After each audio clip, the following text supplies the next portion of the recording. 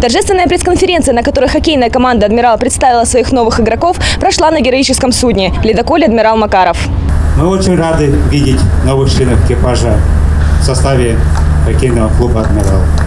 Мы желаем вам хорошего, удачного сезона, громких побед, силы воли. На палубе журналистам и гостям представили новых игроков хоккейной команды. Может, в составе «Адмирала» ребята и недавно, но новичками хоккей их точно не назовешь. На счету у каждого уже есть целый багаж побед. Заслуги игроков озвучили публике, когда торжественно вручали майки с присвоенными им номерами и брендированные бейсболки. В состав команды вошли 16 лучших игроков, из которых два легионера – Паскаль Пелетье и Оскар Бартулис. Приняли очень хорошо в команде э, и, и как бы знаем, что команда в принципе новая, собрали новое, много многих игроков как бы и видели сегодня, и, в том числе и молодая команда, так что будет интересный сезон, будем стараться. Еще месяц назад хоккеисты даже не были знакомы, теперь же им предстоит много времени проводить вместе, ведь уже завтра новый состав команды «Адмирал» с тренером Александром Андреевским улетает на турнир в Астану. Провели очень хорошую плодотворную работу, ребята все очень э, хорошо к этой э, работе отнеслись с пониманием.